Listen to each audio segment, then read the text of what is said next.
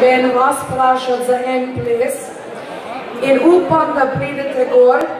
Ni nič, če jih na, no, na noge stopiš, ker sigurno je en prej še naredil.